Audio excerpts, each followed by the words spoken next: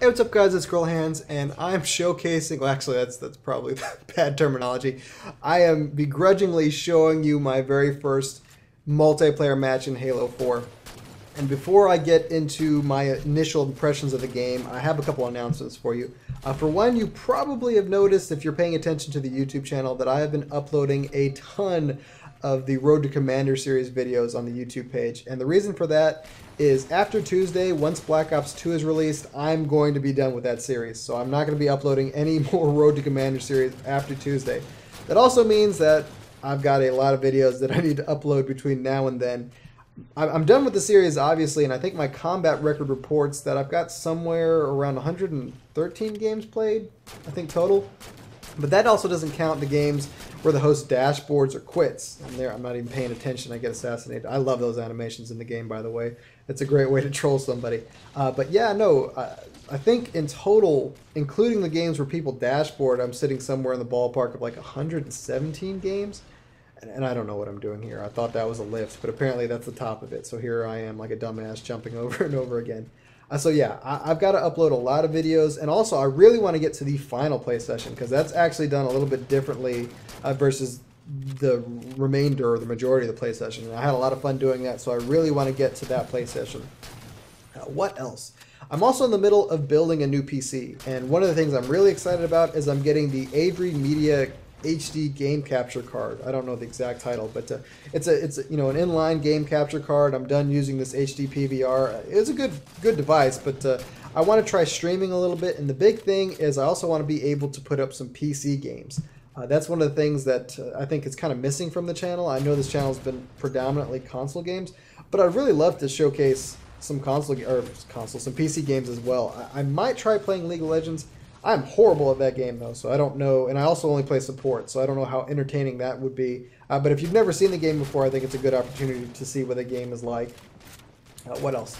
I'd love to throw up some Battlefield 3 videos. Now I know that that game's been out for a year, but oh, that it's amazing on PC, and I'd love to showcase or show off a lot of the different aspects of that game because that is a ton of fun. And I really regret not playing that game sooner. I mean, it's okay on, on console, but when you play it on PC, and I've got a, I'm playing it right now on a, on a, shitty Mac running Windows, and it still looks better than, than anything I've played on Xbox.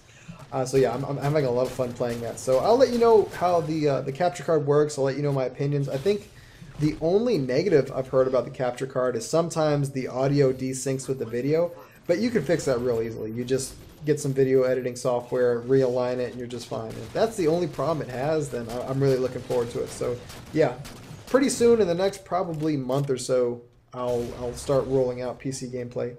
Uh, so what else do I have to say? Um, no, that's about it. Yeah, yeah, let's get into the Halo 4 gameplay.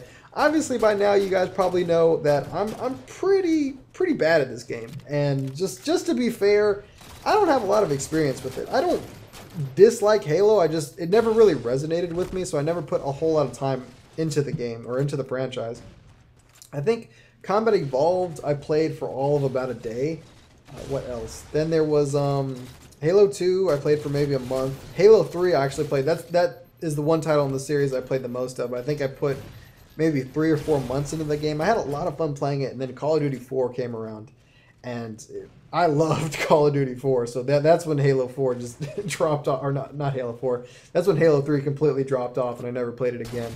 And then Halo Reach, I played for uh, a couple weeks. I, I, wasn't really a big fan of that game.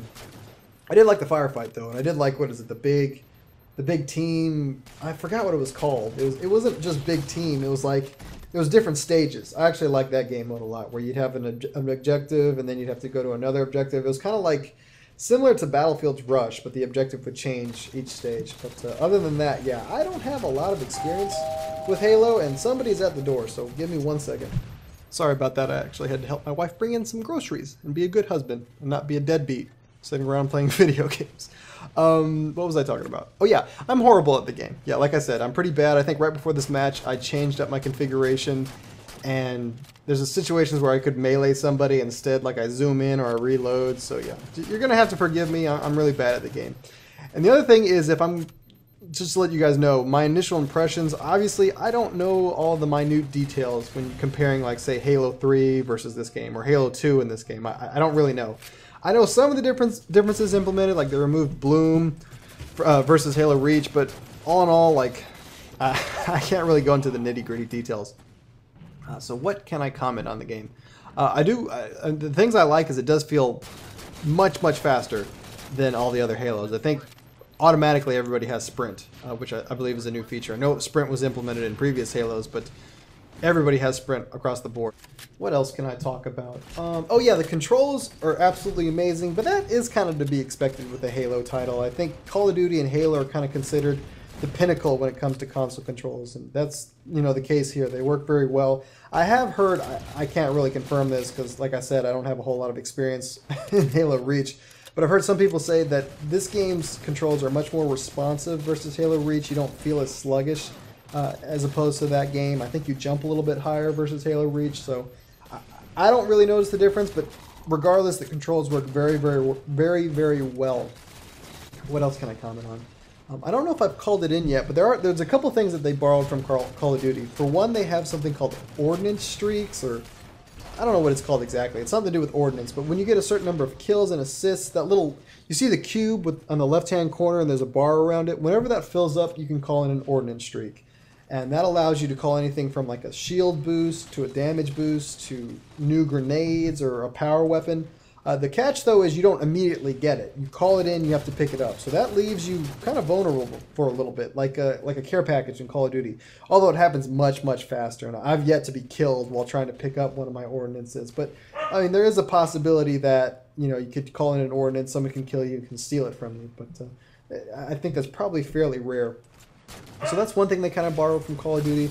Also, I think it's it's in this game mode and maybe a couple other game modes as well, but uh, or might be just limited to this game mode. But you can respawn instantly.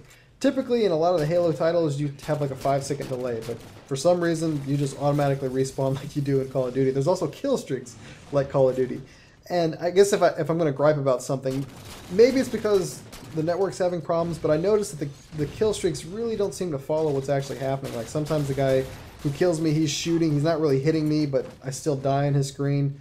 Uh, maybe that's because I have really shitty internet. I don't know. But uh, I guess if I'm going to gripe about something, that's one of the things I'm kind of nitpicking on is that the kill cams aren't 100% accurate. Uh, what else uh, that I really liked? Um, I said the pacing was faster because of sprint. Uh, yeah, it, it is interesting they brought in stuff that's kind of similar to Call of Duty. That's not necessarily a bad thing. I do believe they have other playlists that are completely bare bones. They don't have all this stuff. They have they, they brought back armor abilities they also have perks. So some of the perks, like you can increase, you can have unlimited sprint, you can reload your gun and swap weapons faster, um, you can recharge your shield when it's down uh, faster than before.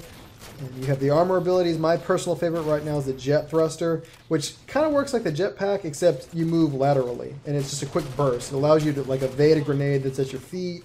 Uh, a couple situations, people try to assassinate me, so I jet thrust behind them and, and kill them. So I really like that ability. Um, they have like Prometheus, uh, what's it called?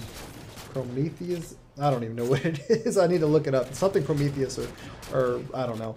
Uh, but it's a vision that allows you to see through walls. I haven't tried it yet. Um, a lot of little different perks. Again, I don't think that's in the Slayer Pro. I think that's like bare bones. And the other thing which people might not be a big fan of is they don't have the ranking system. I believe they're going to bring it in later, but it's not in there yet. But those are my thoughts. I'm absolutely loving this game. I'm going to go back to playing it. Let me know what you guys think in the comments. And like always, take it easy.